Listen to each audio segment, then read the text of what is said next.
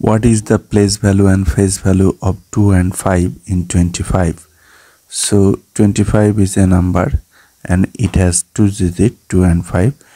we will find out the place value and face value for 2 and 5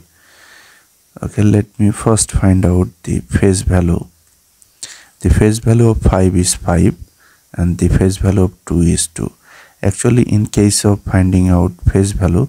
you just need to write the digit itself. So what is the place value of 5 look in case of finding out place value we need to consider the position of the digit. The po this position is called ones ones place and this position is called tens place. So ones place or 10 to the power 0 place tens place or 10 to the power 1 place look power is increasing by by plus 1 so the place value of 5 is 5 ones or 5 times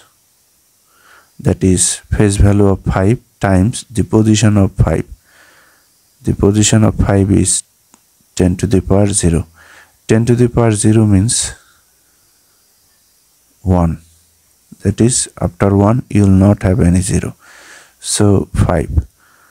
the place value of 5 is 5 ones or 5 the place value of 2 is 2 that is 2 times the place value of 2 times the position of 2 is tens place that is you can say 2 tens or 2 times 10 to the power 1 the position of the digit 2 10 to the power 1 that is 2 times 10 10 to the power 1 means after 1 you will have 1 0 20 the place value of 2 is 20 or 2 tens